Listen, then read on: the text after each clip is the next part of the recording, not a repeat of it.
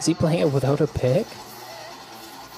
What? This episode of Dean Attempts to Learn is brought to you by Sheet Happens, where you can purchase guitar and bass tablature books edited and approved by the musicians themselves. If you're a fan of learning awesome music, head over to their website at sheethappenspublishing.com and use code word DEAN at checkout for 15% off. That's code word DEAN for 15% off. Welcome back to another episode of uh, something on my channel. So there's plenty of Archspire covers on YouTube here. I'm gonna go through some and uh, and just show you, I don't know what I think of them. I am very honored and uh, very stoked that anybody would consider doing a cover. I'm just gonna go right into it. I'm gonna just call everybody's name and make sure everybody gets the credit they deserve. I know how hard it is just to write it. So to learn it, uh, probably be very difficult as well, uh, if not equally difficult. So first off, we're gonna start with our our dude, fifty-six thousand. Sorry, five hundred sixty thousand. Five hundred sixty thousand. It's my dude. He covered a song called "Involuntary Doppelganger." That's off of the album Relentless Mutation. Let's take a listen.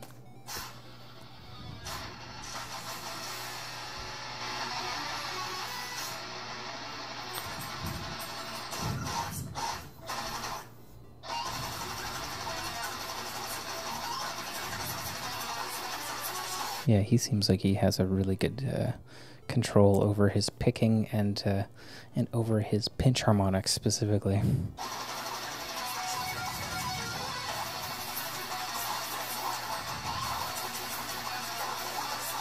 This definitely sounds like an awesome cover. I maybe I should have started with one that wasn't so uh, crazy perfect.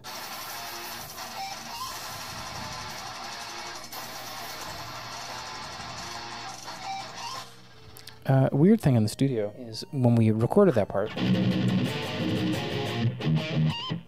So we actually do like uh, two different pinch harmonics.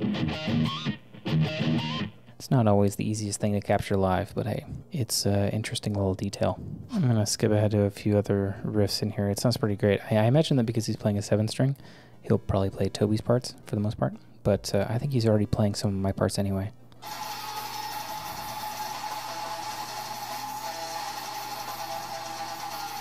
Yeah, that's Tobi's part. That's also Tobi's part.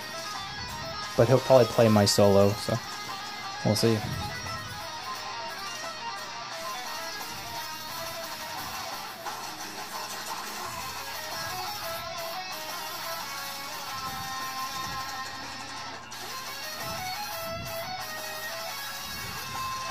Oh shit. Uh, the thing about the run coming up is uh, it's really hard and I fuck it up every time. His sounded better than mine. I haven't played that song for a few weeks.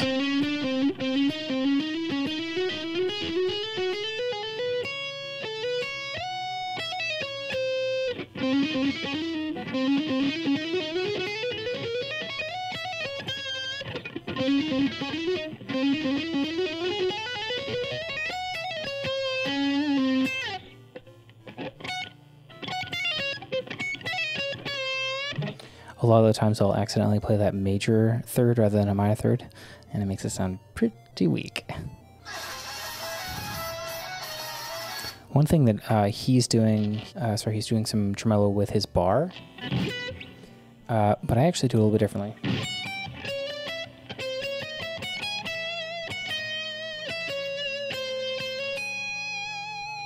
So I'll do a little bit of classical vibrato, side to side vibrato.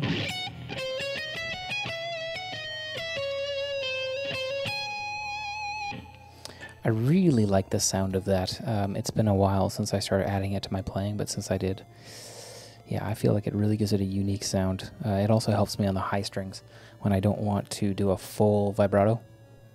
I want to actually just do some sort of slight modulation. It helps me out. Let's check the clean part. Oh, that riff is so hard.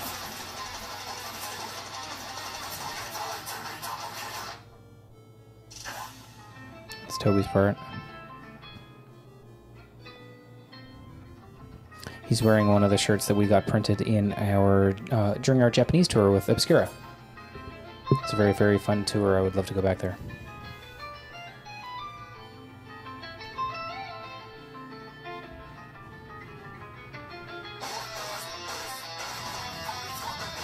It's all Tobi's parts. This run is impossibly hard.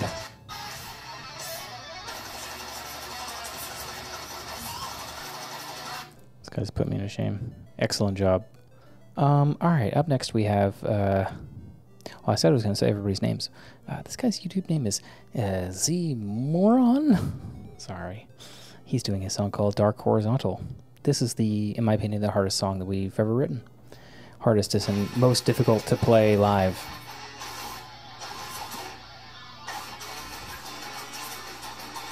What I noticed right away is his picking style is very interesting. And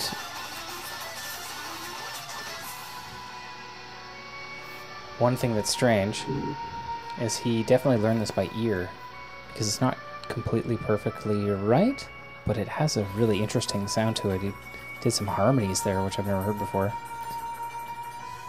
Ooh, I like this part. It sounds really creepy. Uh, in actual fact, this part is...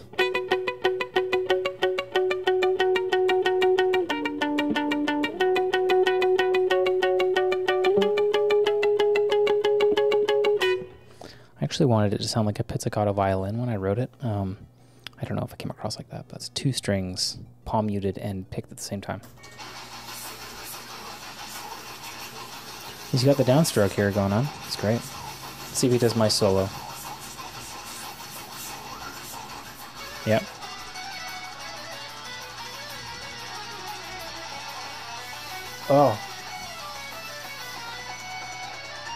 It's different. It's definitely different, but it sounded cool.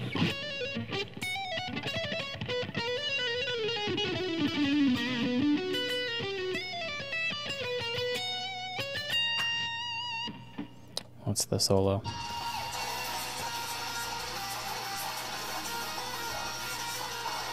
Whoa. He's playing arpeggiated versions of things. It's cool.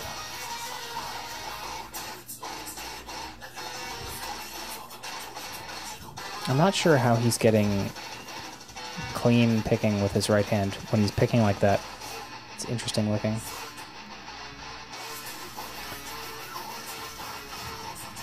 It's very cool. Let me skip ahead a little bit. Oh, he's got chorus, like a creepy chorus on his uh, on his uh, clean. It's very Meshuggah like. It sounds cool.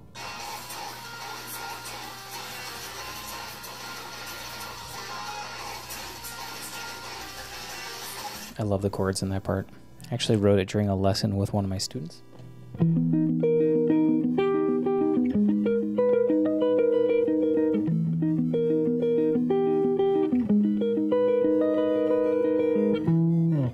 It's very spooky. Oh man, sounds really cool. Oh. I'd like to hang out with this guy and show him a couple easier ways to play these riffs because he could definitely play them. It's just a little bit different than how I would than how I would sort of like put put the shape on the guitar. Oh, weird thing about this too is there's a clock ticking in the background, and this is just like a um, a sound effect that I found online. I asked our producer Dave Otero, I was like, yeah, so maybe we could just like find a better one, and I just put it in here as a placeholder, and he's like, no, that's fine. I'm like, oh, uh, shouldn't it be better? He's like, no, it sounds fine. Like, okay, so I'll just use the one that I found. It sounds fine. Same thing with the VST. There's actually a bit of a synth in there, and the synth is also just a free VST that I have. And I sent it to him. He's like, "Yeah, it sounds great." I'm like, "Aren't you gonna do a better one?" He's like, "No, yours sounds good." Okay. Kind of puts a lot of pressure on me. He's like, "I hope it sounds good enough." That being said, Dave does a great job. oh boy, that's an interesting way to play it. Fuck that solo so hard.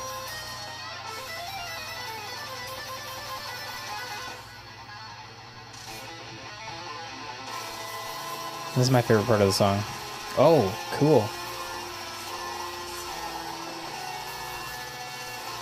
Wow.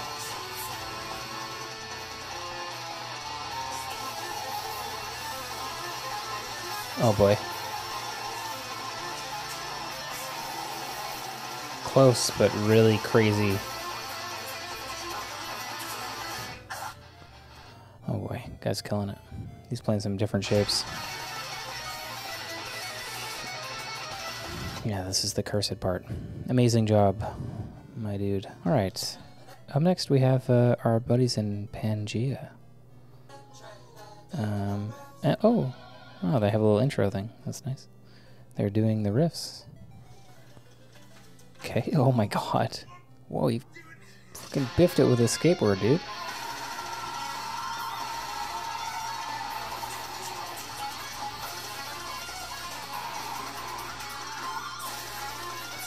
Six string, eh?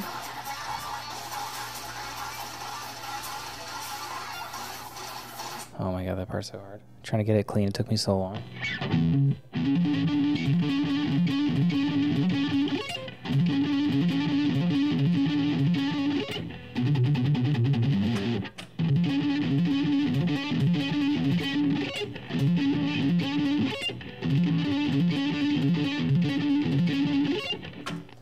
Tobi riff.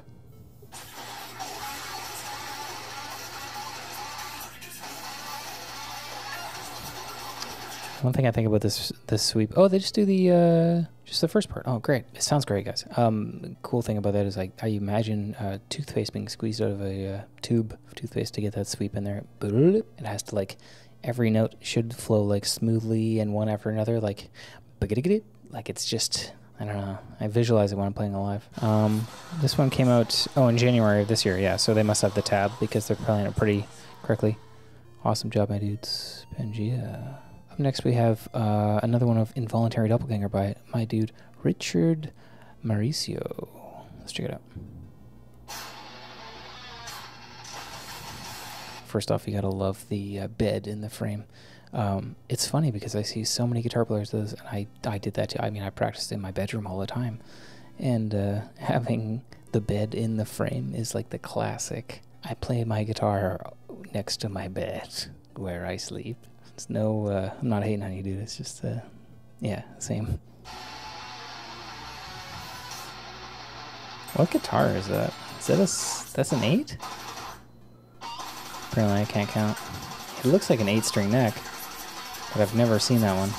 It's got sh- shark tooth inlays, dude. It's an Ibanez, I think. Maybe it's a, I don't know it looks almost Ibanez like, but it's probably an Agile. I mean, he's killing it. Awesome left hand control.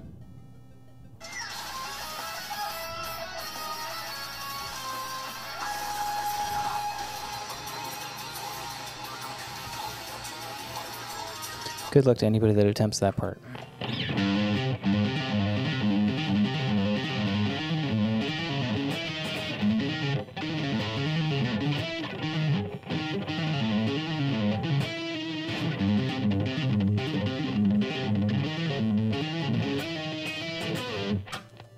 Oh boy. Richard, you're killing it, buddy. Up next, we have a cover of Lucid Collective Somnambulation by my dude Valentine. Valentin. Valen, Valen, uh, well, let's just call him uh, my dude. Because I really do appreciate all these people covering our music. It's pretty crazy to watch people do that.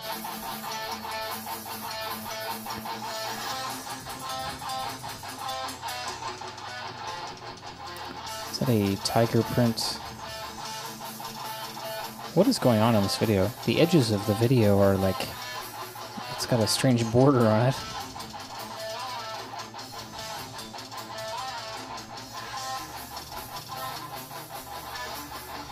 Nice right hand. Alternate picking, dude. Killing it.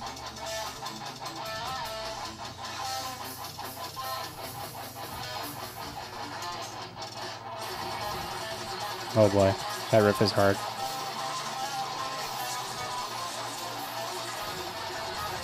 If you watch his right hand, you get a lot of oh, two-way pick slanting. Now he's inside picking it, which I don't. Um, he inside picks it, I outside pick it. Eh, It's the same thing. Uh, well, it's not. It's opposite, but uh, it's the same. You know, nobody's doing it right. We're both doing it just different ways.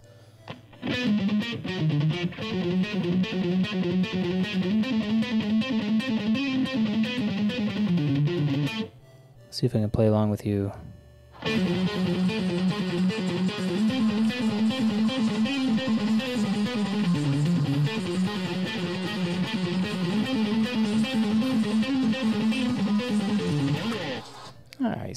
doing it really well. Uh, everybody so far is doing really well. What the hell? This is the part that I get asked about the most.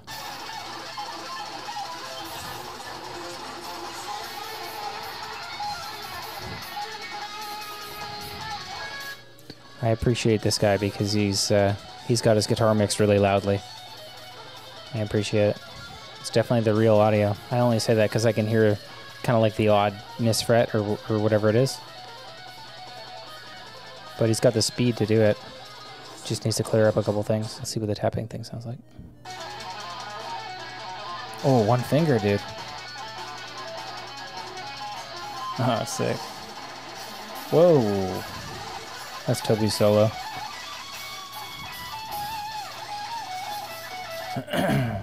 Killing it, dude. All right, up next we have uh, man. Everybody's name is very hard to pronounce. What the hell's going on? He, uh, this this Gojira shirt-wearing gentleman did uh, a cover of a song called "Fathom Infinite Depth." So let's check it out on a Schecter seven string. Actually, we were just going over the uh, the edits for the last book that came out, the Lucid Collective Guitar Tab book, and uh, it was interesting to go back to this song and all the other ones that I haven't played for years, and just go over all the stems and make sure everything was right. It was interesting. Guy's timing is good. Even just memorizing this takes a while.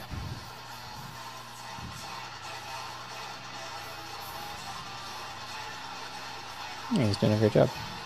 Oh, he's taking a break during the clean part. I know that feeling, you don't have a foot pedal or anything at home. What are you going to do? Again, you can hear his guitar really well over the mix. Killer job, dude. Up next, we have uh, Emiliano Rodrigo Carandra, and he's going to do the song Remote Tumor Seeker from our uh, most recent album.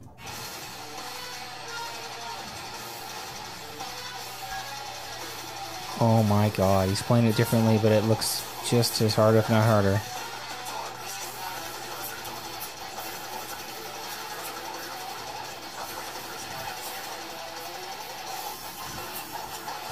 This dude, and you, will notice here, he's playing through Winamp.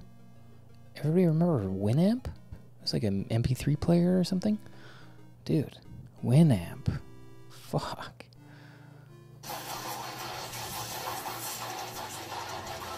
Yeah, he's playing it differently than me, but it sounds good. he's playing on what looks to be a headless. It might be a Strandberg. It looks like a Strandberg, but at the same time not. Uh, can't tell. Custom headless guitar. Oh boy, that part is so difficult. It's difficult the way that I wrote it, let alone a different way. Oh, he's got a cool way to play that main riff. It's actually a little bit easier than that.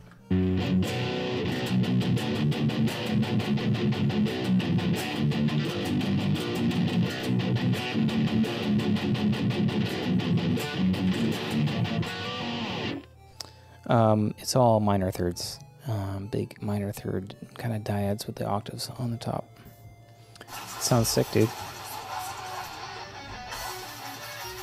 Tobi solo.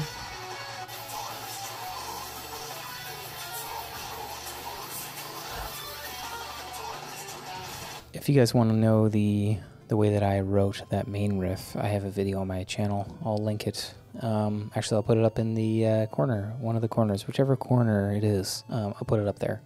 It uh, shows you how to play it for real. Uh, this guy's doing like a different version of it, which sounds equally as cool, but might be a bit more difficult than the one that I wrote. Tobi solo again.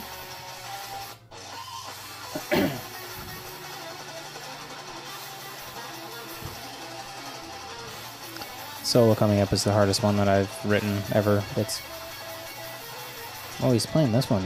Interesting.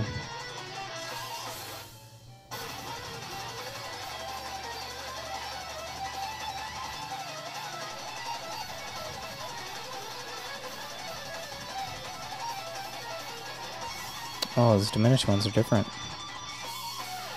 He was doing like a movement down with the diminished uh, shapes, uh, but the way that I wrote it.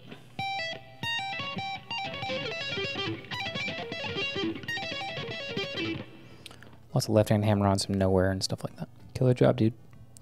Emiliano, thank you for the support. Up next we have uh, Jaden, Jaden Dearnley. So he's doing uh, the entire song, the entire Mimic Well song. He has two Ormsby-looking guitars. Want to see what's up.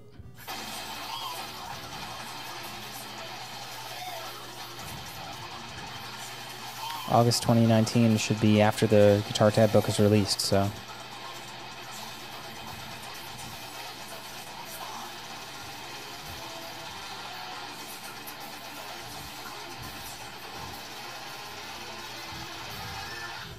Killing it, dude.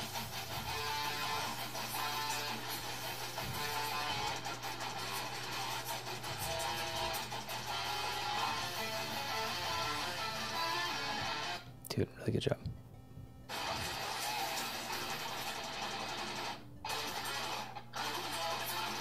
Oh yeah, that riff is tough. It's a big string skipping kind of riff. This is the hardest one on the song, for me anyway. He's playing alright. He must have the official tab. Dude, great job. Um, so that riff I actually pick.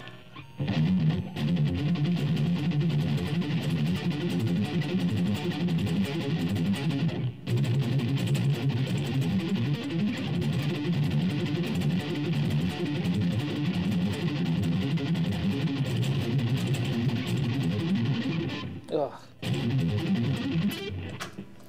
Tough one. I got to get back into shape. Anyway, I picked that one. Uh, if you want some extra challenge, try picking it. I'm going to skip forward and see what he does with the clean section. Oh, yeah, that polychord part. Hey, he's playing it like me, man. Or he's, he's playing a different, um, different octave than I'm. Oh, there you go. There's my part.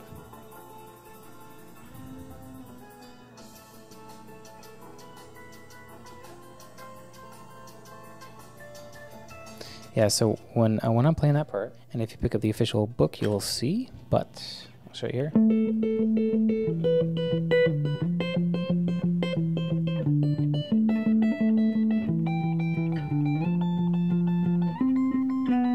Or I'm doing one melody line that moves upwards, and then the bass line that stays the same.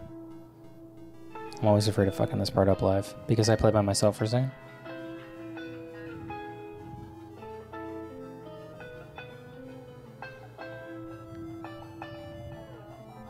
And then I do this phaser one. Understandable if you don't do it, and you gotta have the right effects. Luckily for me, I have the um, the phaser automated on my Axe-Fx. Sick job, Jaden. Good job, bud. All right, got two more. Up next, we got Steph. Let's check it out. His name looks very familiar. I feel like I know this dude.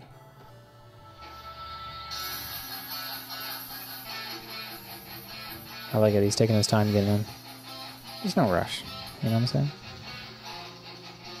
You can hear his guitar really well too. He's playing an RG. I don't know which mm, RGA8. RGA8 probably. Lots of down picking for the intro. Great job.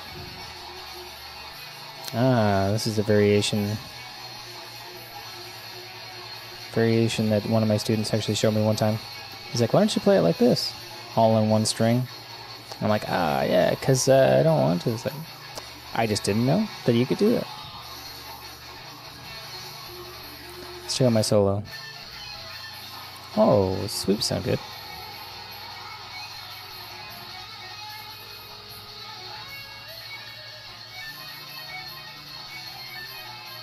Tapping stuff is pretty close.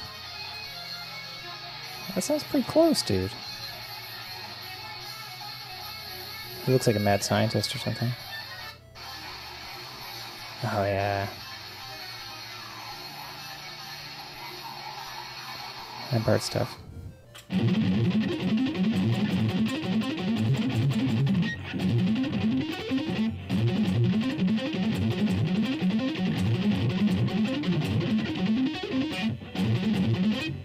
Getting those string skips, uh, pick notes are tough.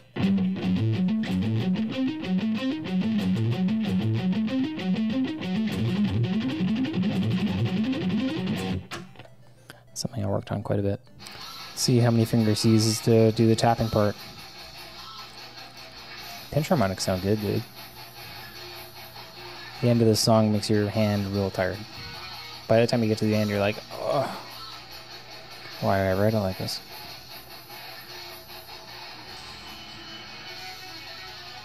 Multi-finger tapping. That's a, that's that's how you do it, dude.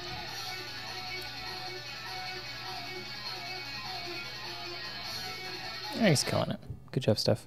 Thank you for the support, my friend. All right, we got one more. This one could be really cool because I uh, I noticed he's playing in, uh, on some sort of couch with tons of pillows. So, last one, February 29 or 2018. So this is going to be all by ear or by a tab online of varying quality. A little bit of After Effects action. Is he playing it without a pick?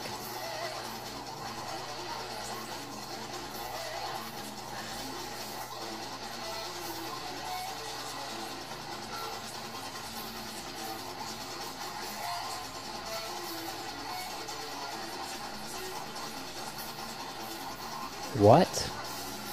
Wow.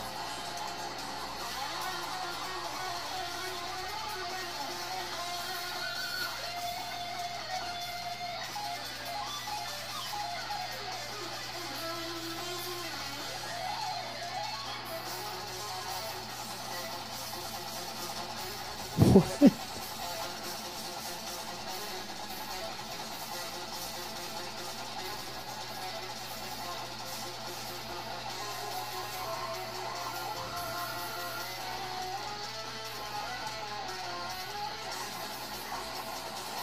Wow.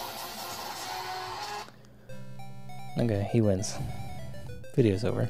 He wins. That's insane. Uh, I've never seen anybody play death metal without a pick. Uh, not on purpose, anyway. I mean, by mistake if you drop one, but he's doing harmonics without a pick. That's, uh, yeah. Anyway. Um, I'll link all the videos in the description, and uh, thanks for watching. So uh, you can grab both of the books that I talked about in this video over at sheethappenspublishing.com. Use my code Dean for 15% off at checkout. And uh, I guess you won't need one of these, because if this guy could do it without a pick, then, you know. See you next time.